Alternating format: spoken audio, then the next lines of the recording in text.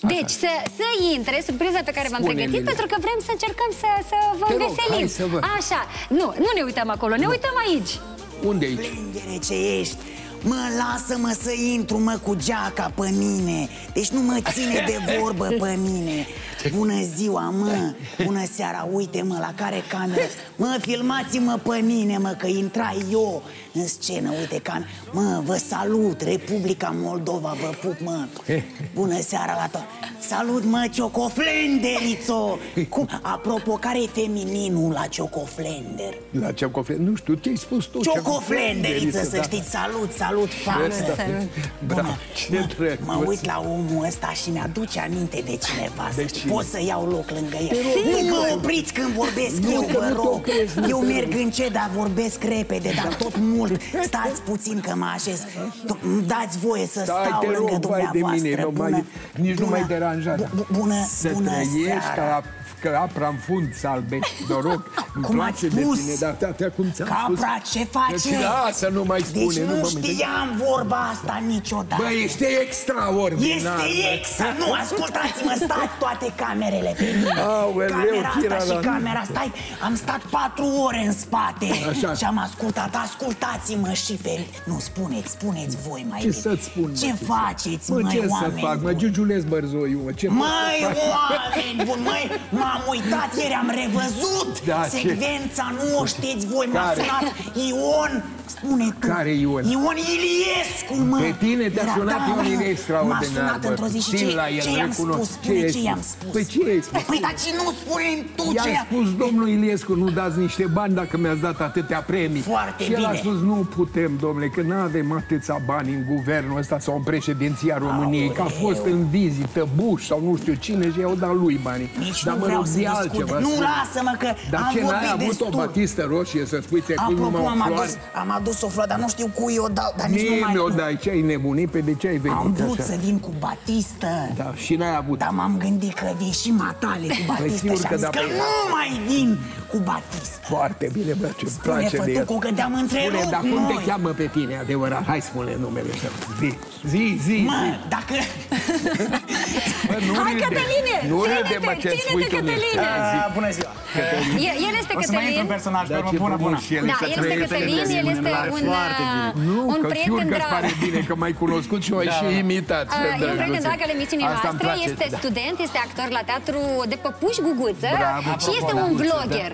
Adică, Tare adică frumos face, el e. fa- face Îmi place de imagini el. video. E cuvântul meu, dar nu Apropo, te-am când mă făcut eu. machiau astăzi, Da, îmi ce-a- spuneau că semănăm.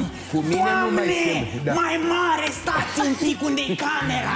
Mai mare bucurie n-am avut să Da. vă scriu. Hai, bă, că ești extraordinar. Nimic, acum vreau să spun că ești foarte drăguț și tu, de fapt, de fapt, de fapt, tu limiți pe, pe Mihai Bendeac. Apropo, pe, tu pe apropo. Ben- Bendeac făceași totdeauna. așa, Tu ești extraordinar, ești nemaipomenit. O singură dată m-am supărat pe Bendeac și asta vă spun dumneavoastră, dacă mai e camera asta Mai e, mai- mai e, mică, mai e pe dar nu dumneavoastră. mută ei pe prim plan la mine, vreau să vă spun că Asta m-a supărat cel mai tare când într-o zi au început să curgă mii.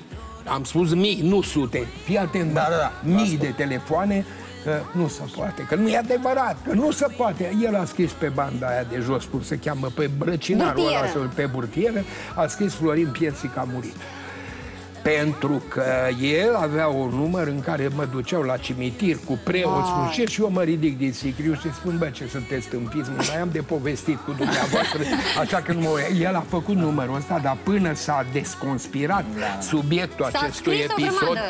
Domnule, nu Dați-vă că mi-au cine scris, este. nici nu puteau oamenii să scrie că erau așa de Nu, zic, de emoționați. presă, ce- de presă, Presa pentru nu că n-au când- când am- apucat când am să scrie, căutat- pentru că el imediat după ce a început, după 20 de minute, după 20 de minute, bineînțeles că imediat au desconspirat și au spus am glumit cu Florin Pierții, îi făcea el în toate emisiunile astea în care mă imita pe mine. Oricum mi-a făcut plăcere, părerea mea, eu îți spun, nu că m-ai imitat pe Da, mine, după da, cum da. arăți și după cât ești de tânăr, câți ani ai, 20 și câți?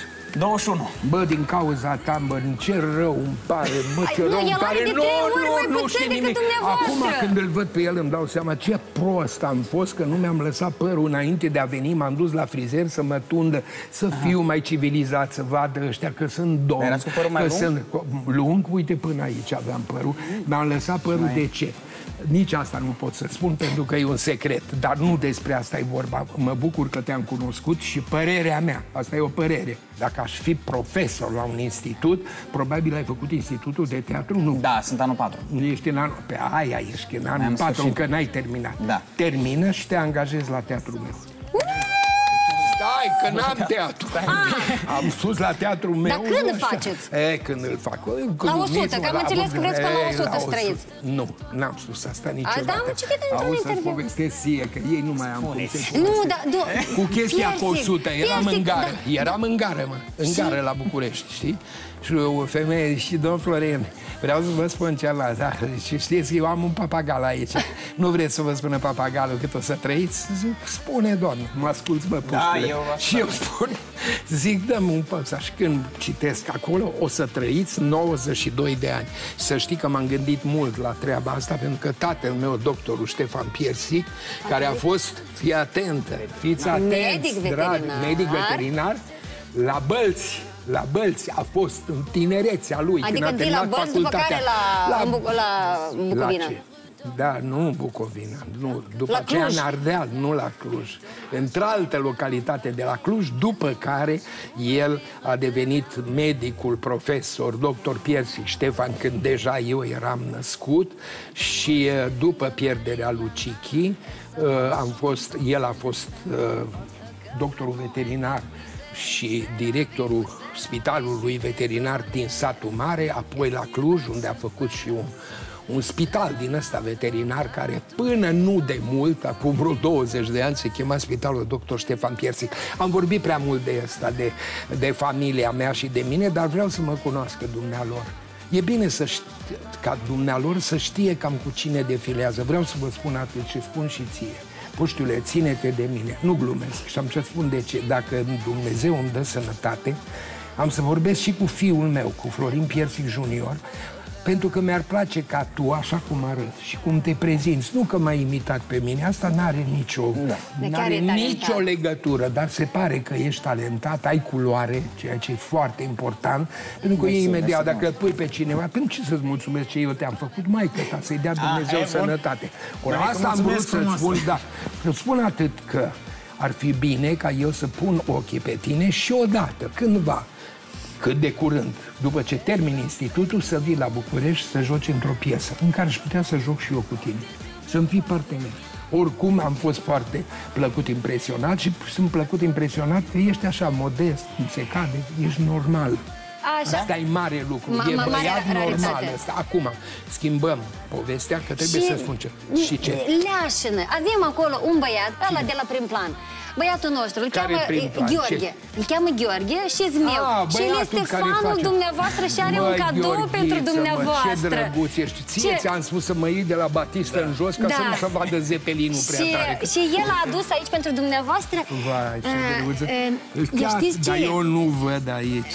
Da, e, e dulceață Da, cum din dulceață, din pier, dar se piersic. vede că e și o piersică Da, aici. Ia uitați, da. dacă o Se te dai văd la prim dulciți. plan, ia uitați, ăsta este. Așa, foarte zmeu naș. fugi, Noi cu Gheorghe nu știm de fugi foarte înapoi mult la timp și muncă, nimic trebuie să iei prin Pe planuri nu ți-a dat, dar o cu să Mulțumesc, Florin. Gheorghe, las că- Foarte Of, frumos. toată lumea vorbește aici, Dar toți nu, odată. de ce scrie pitch gem? Adică... Da, da, da, e, e, e ceva foarte gustos, e cu marmeladă, așa un Da, marmeladă. ceva gustos Bun, mulțumesc, special. mă, puștiule, să-ți dea Dumnezeu ce știu eu și eu știu o grămadă de prostii. Te pup cu drag pentru asta și îți promit, când ajung în România am să o arăt la toate televiziunile de acolo, mai ales la Revelion și am să spun, ia uitați ce am primit eu din Republica Moldova. Așa, Zmeu, De fă cu la mâna să te omul vadă meu. toată țara. Da, Așa. așa. Mulțumesc, puștiule, ție, care ești la cameră și care mă fotografiezi în clipa asta. Mulțumesc pentru marmelada asta, pentru dulceața asta, gem de piersici 450 de grame. Putea să... Dar cum să nu văd, mă? Ce-ați spus acum? Când am spus că nu văd? M-ați uitat și a spus că Ba, nu văd. nu, am spus pici. Că Tu să știi că tu ești Eu o cu să mă mintea uit în la- altă nu, o parte. să mă uit la- Auzi, să la- spun. la emisiune Deci, cu acum ce trebuie să-ți spun? Că ai spus Chișinău, că ești în Chișinău, că aveți un spectacol. N-am un spectacol. Vreau să spun atâta, că după aceea, luni și marți, rețineți, doamnelor și domnilor, e a opta sau a noua oară, sau a zecea oară când jucăm o piesă, e singura țărănime. Fii atent ce-ți spun. Fii atent ce-ți spun. Eh, Cătălin, încă E un lucru bun de reținut. singurul spectacol care a trecut de 1100 de spectacole. Copii, știți ce înseamnă o stagiune? Doamnelor de la regie, scumpele mele, mâncavați tot ce mai aveți de mâncat. Trebuie să vă pup pe unde mai e loc. Ele o transmit o Vreau mare să vă îmbrățișare. spun atâta, domnule. Sunt piese multe, se joacă de 100 de ori, de 200, de 300, dar una La care 1000. să depășească 1000 în 8 ani, în 9 ani, în 9 stagiuni. Dar nimeni nu știe ce înseamnă stagiunea. Stagiunea nu e un an întreg. Nu, iulie, august, septembrie, nu, iunie, jumătatea lui mai, iunie, iulie, august, septembrie nu se joacă spectacole, pauză. ca astea nu sunt piese să le joci uh, în, în sală în de vacanță. sport sau nu știu ce, sau în grădini unde oamenii beau Coca-Cola, vorbesc între ei, fumează și așa mai departe. Și de asta vreau să-ți spun că această piesă cu sălile arhipline am jucat-o și se numește Străini Străini în în noapte. noapte, în care joc alături de Medea Marinescu. Spun chiar ceva care pe mine mă, mă, Doare? eu, mă, nu mă doare, mă bucură chiar pe mine, pentru că eu am fost cu ideea să-i spun maestrului Beligan, să-i spun maestre, eu mă ocup de Medea Marinescu, dumneavoastră nu mai aveți răbdare la vârsta pe care o aveți, eu doresc să lucrez cu ea, să-i arăt mișcarea, să-i arăt intențiile, ca un profesor de la institutul la care lucrezi tu. Pe cine ai profesor? Vlad Ciobanu. Vlad Ciobanu, să-ți fii salutări din partea mea Neapărat și că că da. să-ți dea nota 10, că eu te-am calificat deja. Și asta am vrut Așa. să spun că uh, Medea Marinescu a ascultat, a luat textul, s-a bucurat normal, normal zic eu, normal. Eu sunt un om chiar normal.